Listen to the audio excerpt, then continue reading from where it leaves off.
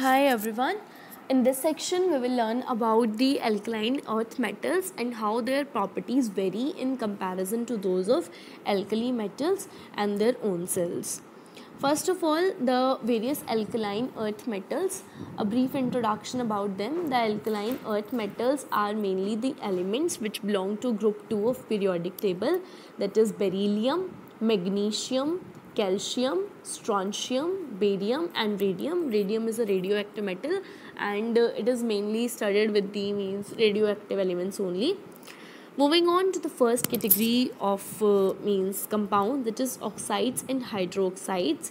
First of all, their preparations whenever these metals are burnt in excess supply of oxygen, these form oxides of the type MO that is general formula for the oxides of group 2 metals is MO where, where M is basically magnesium, beryllium, calcium and strontium whereas barium when it is reacted with oxygen it forms BaO2 that is barium peroxide because this larger barium ion can easily stabilize the peroxide uh, ion. Next is the group 2 metals on treatment with water. These form hydroxides calcium barium strontium etc these react with cold water like group 1 metals whereas magnesium does not react with cold water. And it needs steam uh, it decomposes steam to form magnesium hydroxide. Next is the order of basicity as we know that as we move down the group the hydroxides become more and more basic and it is due to the decrease in ionization energy which leads to the breaking of MO bond and thereby making the release of OH ion comparatively easier and uh, therefore it behaves as basic in nature. Therefore as we move down the group from beryllium hydroxide to strontium hydroxide the basic nature increases. But these are less basic than group 1 hydroxide. The reason being that their size are smaller than corresponding alkali metals and because of which their means bond dissociation energies are comparatively higher and therefore the release of hydroxyl ion is not much easier.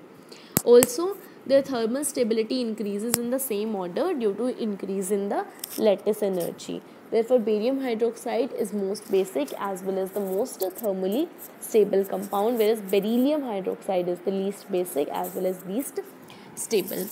Next is the solubility in water. The hydroxides become more soluble as we go down the group, but these are less soluble in water as compared to alkali metal hydroxides. it, it is because of the uh, hydration energies, like the hydration energies for these are comparatively different as compared to those of alkali metals because of the variation in their size as these are smaller than the alkali metals. Next is carbonates and bicarbonates. The carbonates of group 2 metals are generally solid in nature and insoluble in water. Like barium carbonate easy get easily precipitated and all other metal carbonates are easily precipitated and these are therefore means calcium carbonate. We have often heard the hardness of water due to calcium carbonate and uh, magnesium carbonate means because of this. And these are therefore removed in the form of it is actually the method of removal for the hardness of water. That we basically precipitate these hard metals uh, with the in form of their carbonate source. And the, these can be easily extracted out from there these carbonates dissolve in presence of CO2 that is when these are treated with CO2 in presence of water these dissolve with the formation of bicarbonates. Therefore all the properties of carbonates are all carbonates are ionic except beryllium carbonate which undergoes hydrolysis. It undergoes hydrolysis forming a two positively positively charged species. That is uh, a aqueous form of beryllium only and nothing else Next is the stability of carbonates decreases down the group from beryllium to barium. For example, barium carbonate is soluble whereas beryllium carbonate is insoluble due to decrease in the hydration energy. Therefore, their stable their solubility decreases as we move down the group. Next is the carbonates of all group 2 metals. These decompose on heating means their thermal stability basically that as we move down the group their thermal stability increases. Therefore barium carbonate is uh, means uh, comparatively more stable than strontium calcium and magnesium. However on extensively heating on means at very higher temperature these uh, undergo decomposition to their corresponding metal oxides with the liberation of CO2 gas Next is the bicarbonates of group 2 metals are known in solution only and they have not been isolated so far. On heating they decompose to give CO2 plus water and the metal carb uh, carbonates. Next is the sulfates. The preparation of sulfates is the metals on treated with sulfuric acid they form sulfates Similarly, metal oxide or metal carbonate, metal hydroxide, any of these particular compound can be treated with sulfuric acid to form the corresponding metal sulfate. The solubility.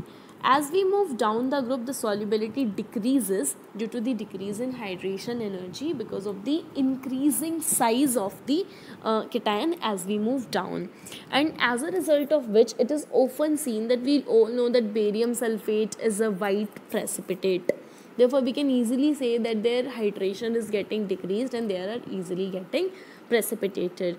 BeSO4 and MgSO4 that is beryllium sulfate and magnesium sulfate are highly soluble whereas calcium sulfate, strontium sulfate or barium sulfate are not soluble they are insolubles in solution.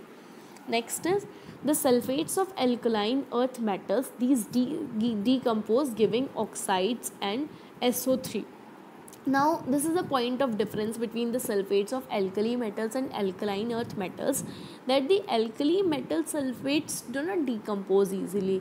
It just means you can uh, easily see in laboratory that the sodium sulfate or potassium sulfate solution are lying on our bench only but the solution of the sulfates of alkaline earth metal are never means kept in in a solution form. It is because they undergo decomposition thereby liberating SO3 gas However, the thermal stability of the sulfates increases as the electropositive character of the metal increases. That is, barium sulfate is comparatively more stable than strontium sulfate, which in turn is more stable than calcium sulfate, magnesium sulfate, and barium sulfate so this was all about the different compounds and how their means their properties like their solubility or stability or uh, means basic nature how it varies when we move from uh, when we move down the group and how their properties are different from the corresponding properties of alkali metal.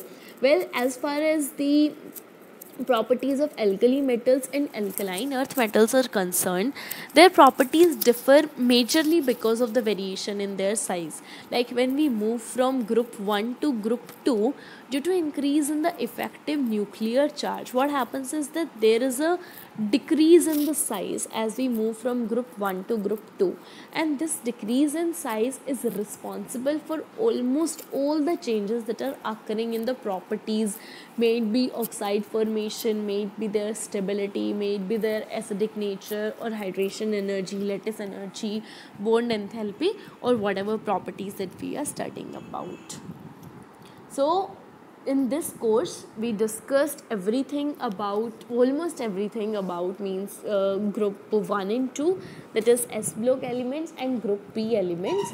I hope that this course is uh, will actually prove helpful for you not only for some competitive examinations but also for your board examination and those who are studying for means even for someone who doesn't has uh, means much good information much good knowledge of the subject of chemistry. I hope that this means this course will be really helpful for you guys. Uh, I request you people to kindly view the videos and grab the maximum knowledge out of them that could be actually helpful for you and to please view the videos and definitely please share your precious comments your feedbacks and uh, kindly review the course. Thank you